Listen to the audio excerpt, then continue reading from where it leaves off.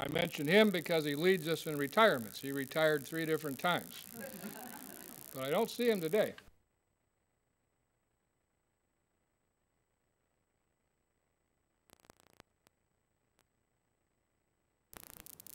Mary over there, 28 years, yeah, still blind too. Boy, I, I used to be blind once too. And Tom King, 28 years. He's not here. There he is. And uh, Joyce Adams, 23 years. Probably see better without these things. Helen Shipley, 22 years. Helen. And Donna Jenks, 21 years. Well, good. I was, I was beginning to wonder. One disappeared altogether.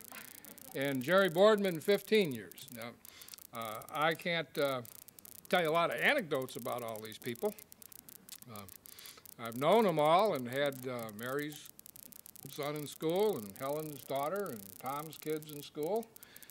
Um, so I'll have to confine my my remarks really to Tom. I've gotten we've worked together for 28 years, uh, but they've all been great people. Well, I can say a little bit.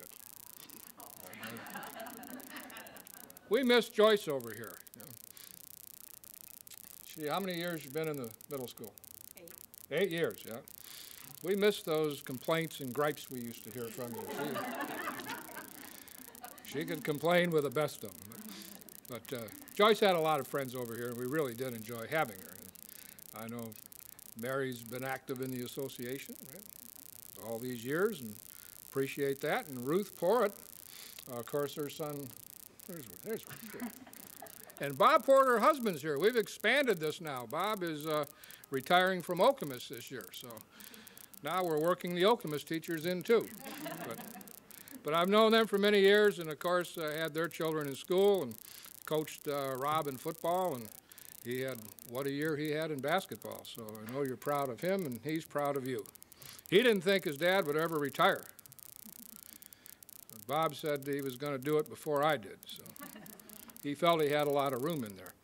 Um, but anyway, it's uh, people have been friends, and we've had their kids, and it's it's been great. Now, when I look out and see the retirees, um, it's hard to tell uh, sometimes who's retired and who's still working. I get them mixed up, you know. Bob Cavera, I thought he retired and he's still around. Call him old Bob. You know, I said to him, Bob, when are you going to, uh, I, I, I, didn't really want to ask him when he's going to retire, but I, I, I said, Bob, you ever think of retiring? He says, well, he said, he teaches literature. He says, you know, he said, literature is getting exciting now. I said, what do you mean by that, Bob? He said, well, there's a lot of good young writers coming out. I said, yeah, like whom? He said, well, this Hemingway fellow seems to have a... sure, Bob, okay. I said, you know, our assistant principal's retiring. He said, you know, he said, I didn't think he'd last. I said, well, why was that? And he said, rugs. I said, rugs? He says, yeah, his rug business. I said, he doesn't have a rug business. He said, well, when did uh, Beale give up the business? I said, said, he left a long time ago. He said, well, I'll be darned. Nobody tells me anything. And I promised I wouldn't say a word about Donley today. And I won't. So I'll confine it to, to Tom, if you will, a few words about him. By the way, retirees, you know, I'm beginning to wonder what it means to be retired anyway. Bray retired, Devine retired. I thought, gee, I'm going to miss these guys. I see Bray every morning in the office. Devine's always around the building, somewhere. So does it mean now if you retire, you still come back? And just don't get paid? I might as well keep working. Anyway, uh, they can all tell you now you're, you're entering into a new phase of life, right? You're giving up what you've done these many years. And if uh, Mal Dunham is any guide, you're entering your second childhood now.